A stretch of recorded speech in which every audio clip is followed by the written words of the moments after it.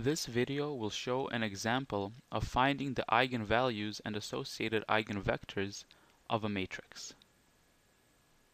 Suppose we have the following matrix A. A is equal to 2, minus 1, minus 4, minus 1.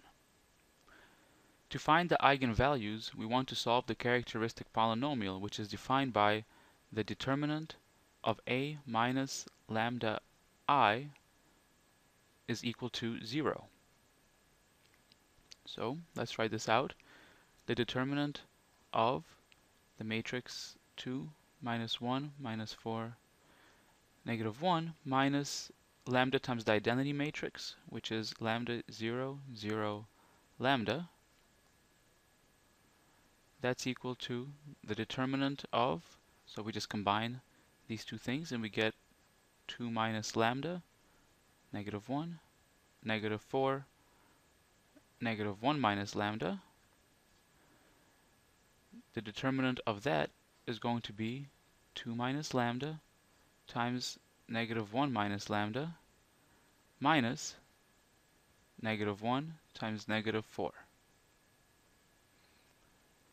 That's equal to, we can multiply this out, that would be negative 2 minus lambda plus lambda squared minus 4.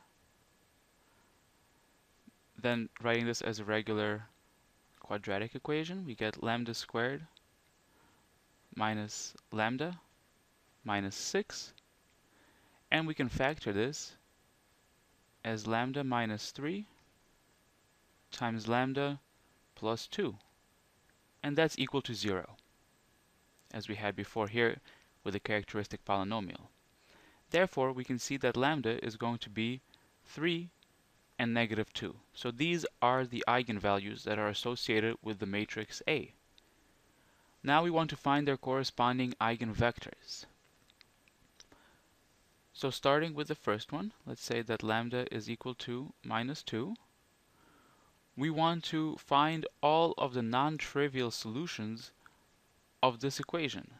a minus lambda i, so lambda here being replaced by negative 2 for the first one, times an eigenvector v is equal to 0. We want to find again non-trivial solutions of this, so where v is not equal to all zeros. So if we perform this operation, a minus negative 2 times i, we're going to get 4, negative 4, negative 1, 1 times v is equal to 0. So we can write this in the augmented form. 4, negative 4, 0, negative 1, 1, 0. And row reduce this. Well, we can see that if we divide the top row by 4, we'll get 1, negative 1, 0. And if we multiply the bottom row by negative 1, we'll get 1, negative 1, 0, which will clearly reduce to 1, negative 1, 0 in the top row and 0, 0, 0 on the bottom. That means that V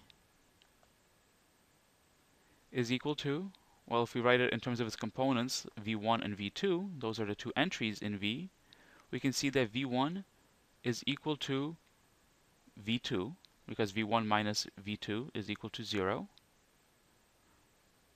So v1 is equal to v2 and v2 is a free variable and therefore is just equal to itself, v2.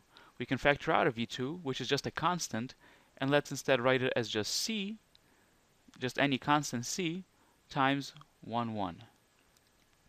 So this is the associated eigenspace with the eigenvalue negative 2. That is, it is the span of the vector 1, 1. Any vector lying on this line along 1, 1 is going to be an eigenvector of the associated matrix A with the eigenvalue negative 2. So therefore, if we want to pick just one such eigenvector, we can pick 1, 1, just setting c equal to 1. Let's look at the next eigenvalue. Lambda is equal to 3. Again, we're solving the same equation. a minus lambda times i, in this case lambda is equal to 3, times, let's call this next vector w, is equal to 0. So we want to solve this. Let's write this out. It's negative 1, negative 4, negative 1, negative 4 times w is equal to 0. Once again, writing this in the augmented form, we get negative 1, negative 4, 0, negative 1, negative 4, 0. And that will reduce to 1, 4, 0, 0, 0, 0. Therefore, w is going to be, and once again, let's write it out in terms of its components, w1 and w2. We have from the first row here that w1 plus 4w2 is equal to 0, and therefore w1 is equal to negative 4w2, and w2 is free, therefore is just w2. And so this, we can again factor out a w2 and call it any constant, let's call that constant d, and that will be times the vector negative 4, 1, which means that this is the associated eigenspace with the eigenvalue lambda equals 3. And therefore any eigenvector, any vector along the line negative 4, 1 is going to be an eigenvector with associated eigenvalue 3. And if we want to pick a, a particular eigenvector, once again, we can just set d equal to 1 and choose negative 4, 1.